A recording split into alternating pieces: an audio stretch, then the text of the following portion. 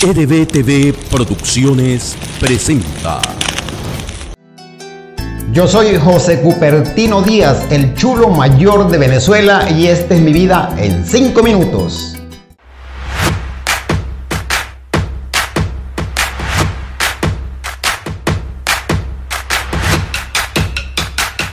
Soy nativo de las cumbres andinas de la población de San José de Tostos en el municipio Boconó en el estado Trujillo. Hijo de María de la Paz Azuaje y Luis Díaz, el segundo de dos hijos. Apasionado por la música desde muchacho, pero no podía incursionar porque las labores de campo no me lo permitían. Y por allá en las fiestas de Paradura de Niños, Bailorio de San Benito, fue que fui aprendiendo mis primeras notas musicales. El señor Andrés López fue el que me enseñó mis primeras notas musicales en un cuatro. Y a la edad de 16 años logré viajar al estado Aragua y por primera vez vi una agrupación de música llanera en vivo. Y ahí maté la curiosidad porque sonaba tan bonita esa música eh, en la radio que yo escuchaba allá. Y entonces ahí quedé flechado por el arpa. Ahí comienza el amor del arpa y yo, pero no pude pues en esos momentos iniciarme porque nuevamente me llevan a, Trujillo, luego a Barinas. Allá en Barinas sí tuve la oportunidad de eh, ensayar con una agrupación de la agrupación de los hermanos Rivero. Y luego para buscar forma de estar más cerca de ellos, eh, busqué trabajo de mesonero en la casa del llano, que era donde ellos eh, tocaban, y hasta que logré este, cantar una canción allá en ese negocio y después hacía el show del mesonero. Y bueno, ya estuve trabajando un tiempo, luego me vine al estado Miranda, llegué a ocupar el TUI y ya sí tenía un poquito de conocimiento en la música y logré alternar con Raúl Fuente por primera vez, que alternaba con un artista ya de, de renombre.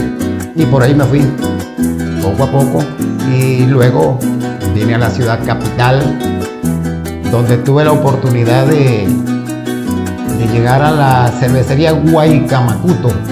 Estaba eh, el maestro Bartolo Torres como artista y Lolimar del Llano era la cantante de planta que le agradezco mucho que fue que me dio la oportunidad de cantar por primera vez en la capital. Luego ella se retira, queda Mérida Espinosa y entonces empecé a alternar con ella, pero ahí había que saber tocar cuatro para poder ser cantante de planta. Y logré eh, coordinar con la agrupación y estuve un tiempo allí.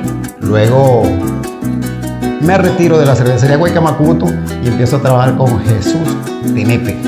Ya voy para la dinastía de Tenepe, ya voy subiendo más o menos, gracias a Dios, en el aprendizaje, porque no fui festivalero, no tuve esa oportunidad porque eh, los trabajos de campo, como le dije antes, me lo impedían.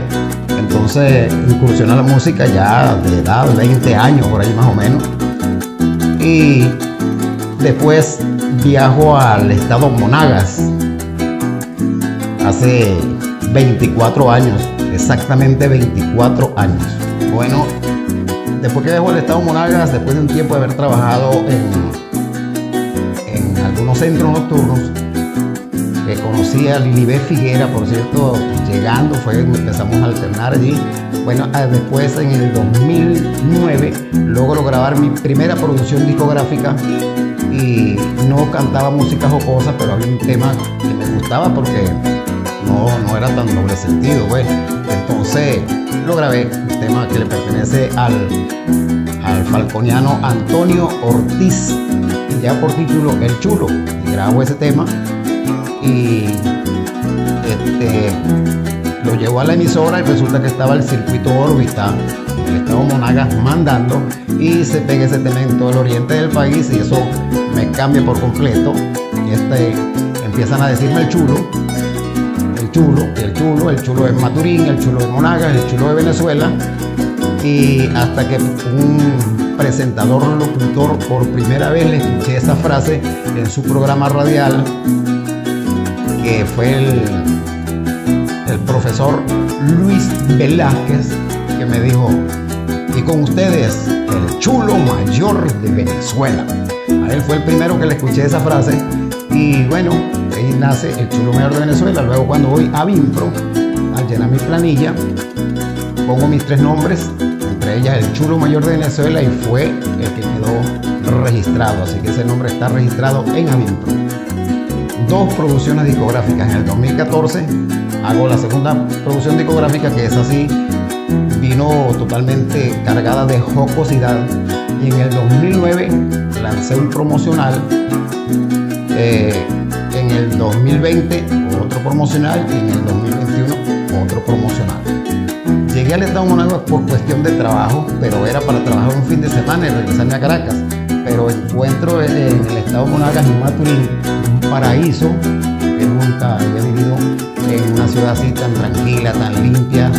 Por algo le dicen la ciudad distinta. Y bueno, y para ese entonces estaba el centro recreacional La Doña, y esa misma semana empecé a trabajar allí, que fue donde conocí a Lili Figuera, la potra de Monagas, que hasta los momentos, 24 años después, seguimos trabajando juntos. Bueno, yo soy el chulo mayor de Venezuela y esta fue mi vida en 5 minutos y los invito para que sigan viendo EDB TV.